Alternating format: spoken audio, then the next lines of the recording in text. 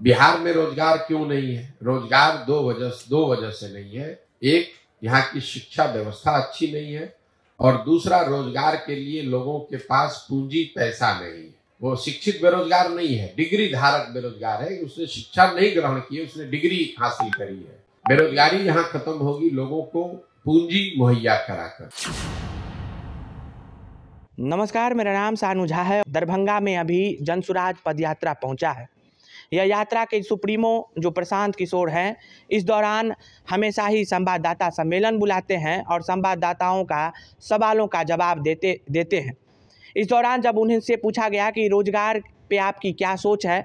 बिहार में रोज़गार पनप रहा है या नहीं? इसको लेकर के उन्होंने अपनी बातों को स्पष्ट ढंग से रखते हुए सरकार के पॉलिसीज़ पर सवाल या निशान लगाते हुए कहा है कि बिहार में रोज़गार फिसड्डी है। इसके दो कारण हैं। पहला, शिक्षा और दूसरा पूंजी का अभाव। शिक्षा को लेकर के उन्होंने कहा कि कॉलेजेस में डिग्री की प्रथा है। बच्चे, युवा, युवतियाँ डिग्री लेकर के रोड पर भटक रहे हैं, उन्हें रोज़गार नहीं मिल रहा है।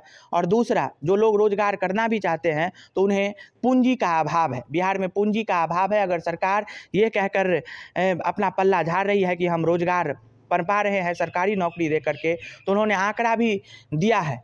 और संवाददाता सम्मेलन में उन्होंने रोज़गार पर बिहार कितना सफल हुआ है और इन दोनों कारकों पर प्रशांत किशोर किस तरीके से अपनी बातों को रख रहे हैं, देखिए इस वीडियो में। बिहार में लोगों को ऐसा लगता है कि सरकारी नौकरी के ज़रिए रोज़गार मिल सकता है। तो आपको एक आंकड़ा बता देता हूँ, एक दशमलव पाँच सात प्रतिशत लोग ही बिहार के सरकारी नौकरी में हैं। चपरासी से लेकर मुख्य सचिव तक अगर सबकी संख्या आप जोड़ दीजिएगा तो कुल जमा डेढ़ प्रतिशत लोग ही सरकारी नौकरियों में हैं। साढ़े अंठानवे परसेंट लोग सरकारी नौकरी में नहीं है। तो निश्चित तौर पर सरकारी नौकरियों के ज़रिए तो लोगों को रोज़गार मुहैया नहीं कराया जा सकता है। ये आंकड़े आज के हैं।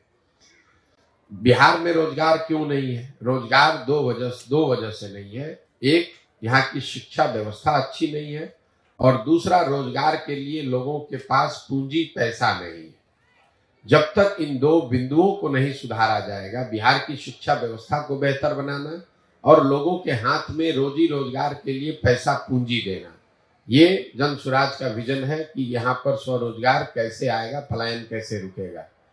शिक्षा की जो स्थिति है, वो लोगों को पता है। यहाँ पर स्कूल से खिचड़ी बट रही है, कॉलेज से डिग्री बट रहा है पढ़ाई दोनों में कहीं नहीं हो रहा है। तो शिक्षित बेरोजगार, आपको भले वो शिक्षित लग रहा है, वो शिक्षित है नहीं, वो डिग्री धारक बेरोजगार है। वो शिक्षित बेरोजगार नहीं है, डिग्री धारक बेरोजगार है, उसने शिक्षा नहीं ग्रहण की है, उसने डिग्री हासिल करी है। लेकिन जो दूसरी बड़ी समस्या है कि आखिर ये बेरोजगारी खत्म होगी कैसे? बेरोजगारी यहाँ खत्म होगी लोगों को पूंजी मुहैया कराकर। बिहार में जो बिहार से पलायन है, वो सिर्फ़ श्रम का पलायन नहीं है, लोगों का पलायन नहीं है, बुद्धि का पलायन नहीं है।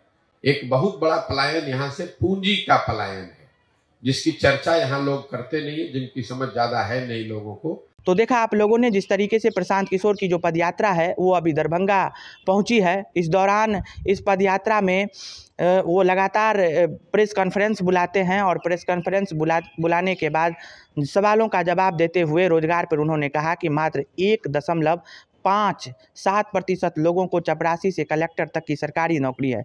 बाकी के अंठानवे दशमलव पाँच प्रतिशत लोग बेरोजगार हैं, लोग घूम रहे हैं, पूंजी का अभाव है।